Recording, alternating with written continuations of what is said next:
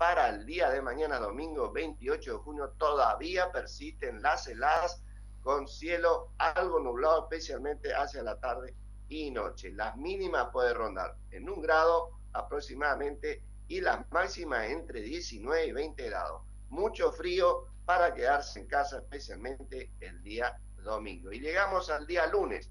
Y el lunes, ¿qué tenemos? En la franja centro-este, principalmente en la zona que comprende Puerto Bermejo, Resistencia, y podría inclusive llegar hasta algo del centro de la provincia.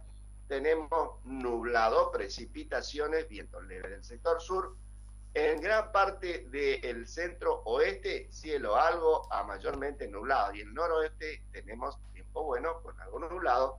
Las temperaturas mínimas, donde tenemos menos nubosidad, como en la zona de Taco Pozo, por ejemplo, allí la mínima se espera en 3 grados, pero en la zona más nublada, ustedes pueden observar cómo cambian los valores de temperatura mínima pronosticada en la franja centro entre 5 y 6 y en la franja este donde están previstas precipitaciones entre 8 y 9 grados la mínima y la máxima entre 19 y 20 grados.